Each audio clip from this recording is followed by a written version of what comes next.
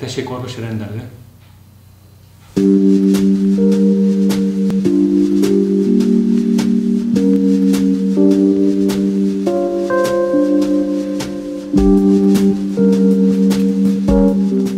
Bár nem látszik rajta, Andrócik doktor túl van a 70. életévén. Ma is rendszeresen praktizál. A rendelője, egykori lakása is itt áll a víztorony tövében. Zalából költözött Tolnába, előbb a Szexádi kórházba, majd itt Tolnán űzte a hivatását.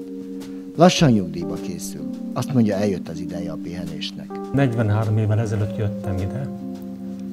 Előtte a Szexádi kórházban dolgoztam a belgyógyászaton, és hát egyrészt az is érdekes dolog természetesen, de a, a, akkor még úgy hívták, hogy körzeti orvoslás azért az változatosabb, érdekesebb, és ráadásul itt nem csak az egészségügyel kell foglalkozni, részben sajnos, részben nem, nagyon sok szociális problémát is át kell látnunk, és sajnos oldon, meg is kell oldanunk bizonyos dolgokat.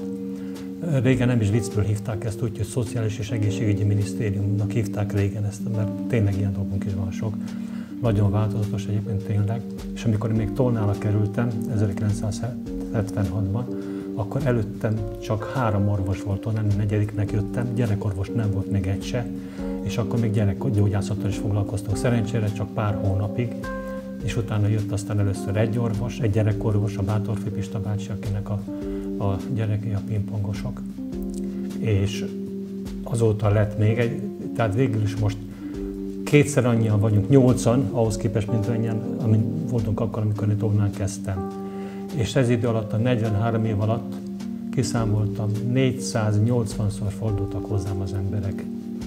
Kisebb, nagyobb problémával, többnyire természetesen egészségügyi problémával, és hál' Istennek nagyon-nagyon sok problémát meg tudtam oldani. És Hát aztán úgy tűnik, hogy a 43 év már sok volt. Nem is magam miatt leginkább, hanem hát a családom is igényli, hogy ö, többet legyek otthon, meg pihen is kell valamennyit, mert 72 éves leszek, és a visszalévő egy-két évtizedet remélem, hogy kellemesen pihenésre tudom tölteni a család körében.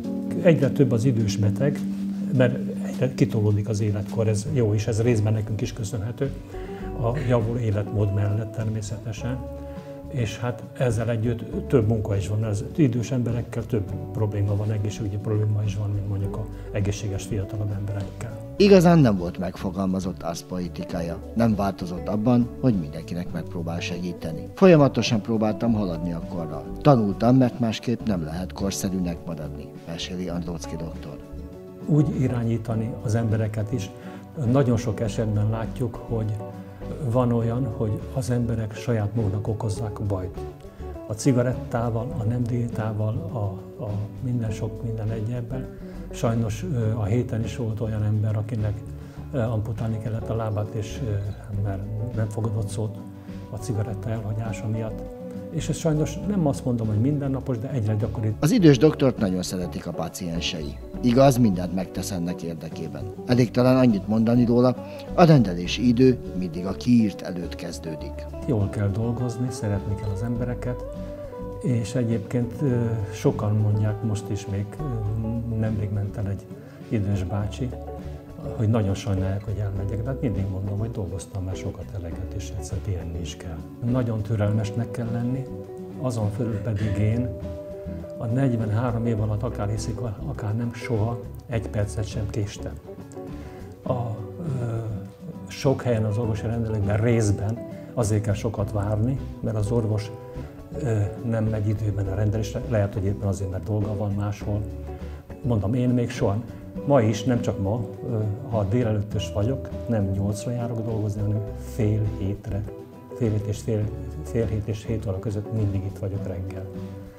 Részben azért, sőt nagy részt azért, hogy ne kell so, sokat várni. Ha nyolcra jönnék, akkor már tele lenne váró, és akkor türelmetlenek lennének az emberek, mert sokat kell várni. De nálunk ritkán tetszik látni most is. Azért, van, azért üdes a rendelő, mert elkezdtük időben a munkát, és elfogytak, hála Istennek. De most is voltak 40 valahányan ma is. És miközben a nyugdíjas tervekről beszélgetünk, ismét csöng a telefon. Mikor befejezte a távgyógyítást, megkérdeztem, ugye tudja, ez mindig így lesz majd. Igazán sosem lesz majd nyugdíjas. Tudom, mondta mosolyogva. Egyébként kertészkedni és utazgatni szeretne most már. Aztán azt is elmeséli, nehezen gyógyítja önmagát, bár sosem volt influenzás, ezt valahogy megúszta. És sosem volt táppénzen sem. Zárásként bevallja, ő Zalai, és az is maradt ödök életében. Hiába a város és a benne lakók szeretete, neki az otthont ad az Zalai dombok jelentik. De szép volt ez így is.